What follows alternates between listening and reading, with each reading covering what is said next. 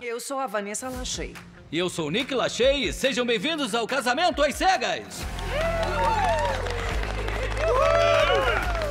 O que trouxe vocês aqui ao Casamento às Cegas? A beleza acaba. Eu quero alguém que me escolha na alegria e na tristeza. Eu me baseava na aparência pra namorar e isso não me levou a nada.